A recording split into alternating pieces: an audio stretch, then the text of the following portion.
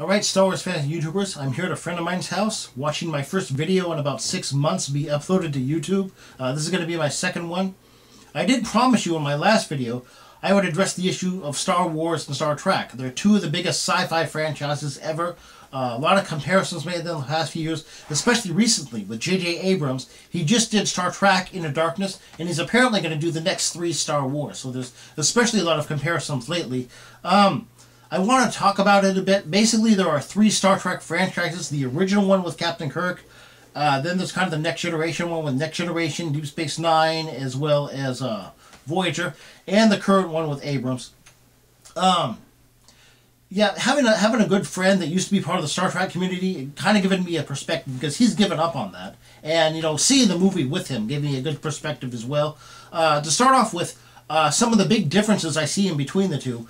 Star Trek Gene Roddenberry thinks that mankind, you know, if we ever encounter aliens, we're suddenly going to change. We're going to be on a higher level. You know, um, mankind is going to, you know, put a lot of the barbarism behind us that's been part of our past.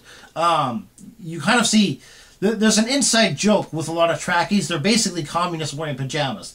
That isn't necessarily uh, unfounded. You know, the, uh, Star Trek, especially in the next generation, and that area of it is is basically uh, we run a utopian society. Uh, fighting is a very last resort. And they always point out mankind, basically our era and back, as being just barbaric, and how they've how they've risen to a higher plane since um since they've advanced in technology and found the existence of aliens and everything. Star Wars, I think, we can relate to as well, uh, much better as human beings now. Although, you know, I can't relate to Jean-Luc Picard, but I can relate to Han Solo. A lot of us can, you know. I don't care what they say, Han did shoot first. Sometimes you've got to make those decisions. You know, no, no matter, regardless of our technological level, I, I think we're still going to be human beings. um, I do. And I think that's why Star Wars characters are more believable. Sure, you can have science fiction with unbelievable technology, but once you accept that technology, you've got to be able to relate to the people in the movie. So I think Star Wars does a much better job than that. Although the new Star Wars with Abrams, um, I, I, I, see a lot of a lot more uh, what current day humans would be like maybe in the future. I mean, it's a lot more militaristic. Uh, you know, I, I they, they really push that Starfleet is no longer you know primarily an exploration and uh, you know uh, making contact and stuff. It's, it's more of a military installation, and um, this is addressed in the new Into Darkness movie. I mean, one thing about it, I noticed the uniforms they're wearing. Like Spock almost looks like you know he has this huge military type hat on. It's like straight out of Stalinist Russia.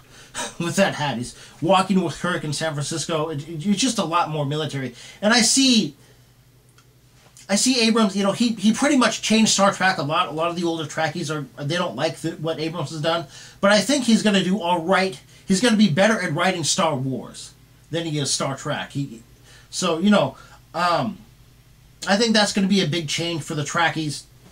You know, uh, a couple of other things that uh, Star Trek and Star Wars how they differ is um, I think Star Wars exploration has pretty much been done, and you know meeting aliens and stuff is just like a common everyday thing. Uh, Star Trek, of course, there's the Federation, and they've got like all the different races they know about. They know about the Klingons, they know about the Romulans, they know about these different people, but they're still in the exploration stage, so a lot of stuff is new to them, and you know, there's a lot of phenomena they find in space. I, I think that's another big difference between the two. Star Wars is a lot of things in space are already established. But Star Trek, there's still kind of a mystery to what's out there. So I, th- I think um, those are two interesting directions they've they've historically gone. Um, let's see. Uh, th- there are some other differences between the two. Uh, there's there's a lot of minor ones. A lot of people try to compare the technology. You know, you, you get this all the time from Trekkies you get these these mesh up videos where you know the Captain Kirk blows or Cap, Captain Picard blow up the Death Star or something with photon torpedoes. Uh, a lot of Trekkies try to bash us with their technical level. You, um, you know, I just want to say to them, if you're going to try to attack me there, uh, Star Wars happened a long, long time ago in a galaxy far, far away, and even in that time, they had a lot of space exploration. And Star Trek, uh, you know, it's two or three hundred years advanced in our future, or maybe it's I, I think it's three hundred. I think Picard and them might be four. I, I actually think Kirk is about 200 and some odd years, and Picard and beyond there is about 300. If I have, I probably have the dates a little bit wrong, but I think I'm in the ballpark. So, you know, uh, if you want to argue the technological level, you have to look at the fact that Star Wars had all this technology probably thousands of years ago. They were already pretty much established their hold on their galaxy. So, uh, consider that, Trekkies. You know, when you're trying to bash us and make technological comparisons and things like that. Um, another thing that, um, another difference of, you know, maybe you've noticed it, maybe you haven't. A lot of Star Trek is, uh, they've pretty much put religion behind them as people. I know I, I have Deep Space Nine. I actually got Deep Space Nine from my friend who used to be a, a, a die-hard Deep Space Nine fan. I've been watching the series. Um, they don't re- address religion that much in Star Trek. Basically, it's an atheist society, and they put religion behind them. I know, I know Bones. Uh, you know, Dr. McCoy does mention religion some, and he says, "My God, Jim," or you know, he'll mention something from the Bible. And in Deep Space Nine, they, they addressed religion a little bit. The Bajorans were religion, but they they wanted to establish that even though they have a religion, uh, the religion were actually wormhole aliens.